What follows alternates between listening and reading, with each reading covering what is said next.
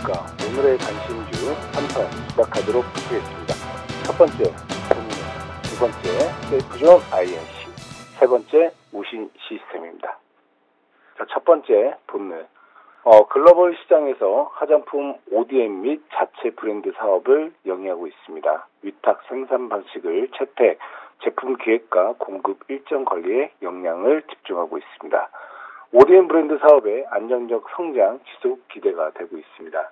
자, 지금 기술적으로 보시면 지금 추세, 추세적으로 우상향을 하고 있고요. 장기 이평선 돌파를 해서 어, 지지받으면서 우상향하고 있고 매물벽을 다 돌파를 해서 지금 3월선 골든 크로스를 만들었기 때문에 어, 추가 상승 기대해도 좋을 것 같습니다.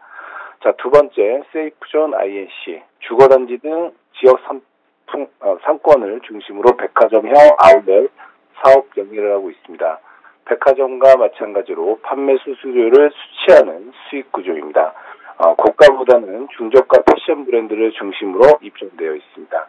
자, 세이프존도 지금 박스권 돌파를 해서 거래량 동반 골든크로스 타고 있기 때문에 어, 추세적으로 추가 상승은 가능할 걸로 예상이 되고 있습니다. 자, 세 번째 우신 시스템. 자동차 차체 자동 용접 라인을 제조하는 기계 사업 기계 사업을 영위하고 있습니다. 안전벨트 도어 내장재를 생산하며 한국, GM, 현대, 기아차가 주요 고객입니다. 내장되는 도어 트림, 플라 등 플라스틱 사출품을 현대, 기아, 테슬라 등으로 납품을 하고 있습니다. 자, 신고가를 쓰면서 지금 올라가고 있는데 지금 계속 저점이 높아지면서 3월선 골든크로스 타고 올라가고 있기 때문에 추가 상승이 가능하다라고 보시면 될 것 같습니다.